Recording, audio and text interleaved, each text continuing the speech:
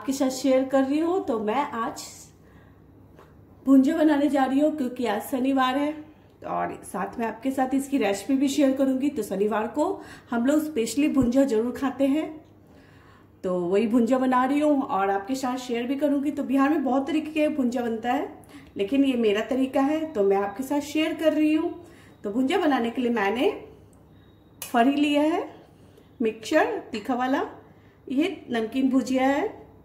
थोड़ा सा पापड़ी लिया है, नींबू एक प्याज लिया है, एक आलू लिया था उबाल के, हरी मिर्च थोड़ा ज़्यादा ही लिया क्योंकि तीखा अच्छा लगता है, ये खीरा लिया है और ये नारियल लिया है, कच्चा नारियल, और ये जीरा पाउडर लिया है, काला नमक, और ये बाउल लिया इसी में भुंजा बनाएँगे हम तो चलिए भुंजा बनाते हैं। और भुंजा बनाने में मैं थोड़ा सा अचार का मसाला भी यूज़ करूँगी तो वो भी आपके साथ ज़रूर डालते हुए शेयर करूँगी और बताऊँगी भी। चलिए स्टार्ट करते हैं बनाना। बिहारी स्टाइल में बिहारी भुंजा, जो हर घर में बनता है। तो बाउल मैंने ले लिया है तो इसमें सबसे पहले हरी मिर्च को डालते हैं, आलू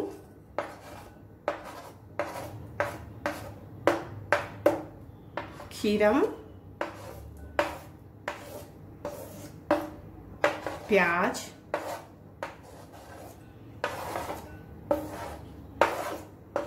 ये जो भुंजा है ना, बहुत ही अच्छा लगता है। मैं हर समय, जब मुझे भूख लगती है ना तो मैं हमेशा बना के से खाती हूँ। नारियल को भी यूज़ नहीं करेंगे। मिक्सचर, भुजिया बहुत आसान है ये रेसिपी ये पापड़ी लिया है मैंने। तो इसे हल्का सा तोड़ के डालेंगे।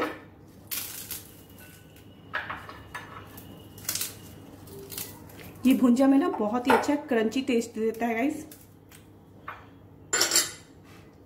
ये डाल दिया मैंने। अब इसमें मैं अचार का मसाला डाल रही हूँ। एक चम्मच लिया था।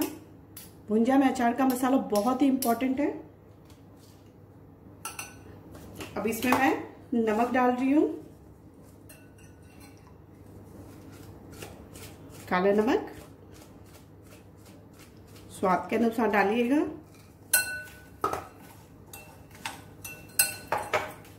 अगर कम लगा तो फिर मैं डाल दूँगी इसमें बाद में। भुना हुआ जीरा पाउडर।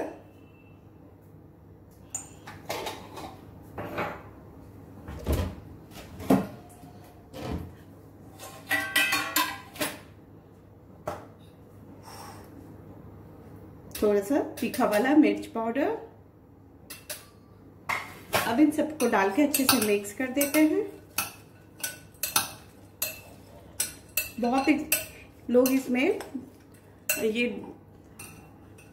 चना का भुंजा भी डालते हैं तो बस मेरा यही तरीका है, मुझे यही पसंद है इसी तरह का तो मैं इसी से, इसी तरीके से बनाती हूँ।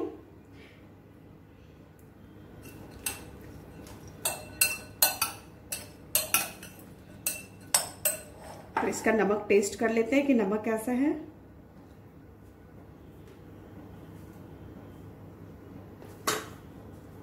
थोड़ा सा नमक और जाएगा इसमें।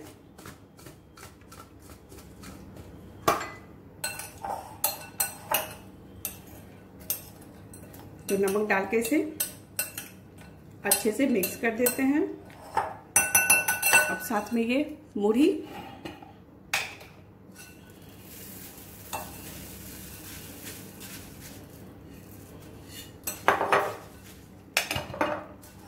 है ना बहुत झटपट वाली है रेसिपी तो इसे अच्छे से मिक्स कर दीजिए।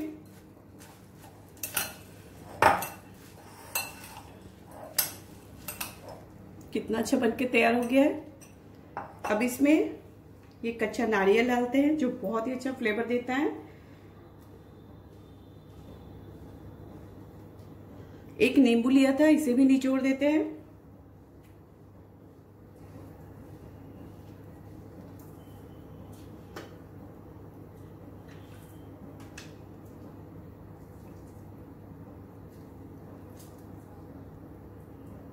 तो नारियल और नींबू डाल के इसे अच्छे से मिक्स कर देते हैं।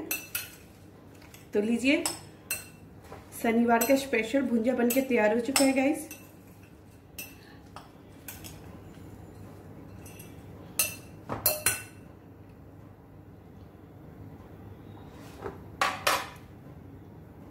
मैंने शनिवार स्पेशल भुंजा बना के तैयार कर लिया है गाइस तो कैसी लगी आपको मेरी यह शनिवार की रेसिपी मुझे कमेंट में ज़रूर बता दीजिएगा।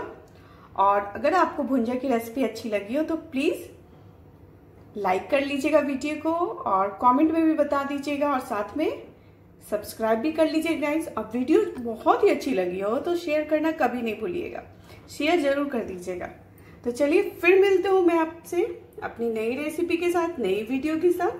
तब तक के लिए भुंजा बनाइए और इंजॉय कीजिए। तो फिर मिलती हूँ। Bye bye friends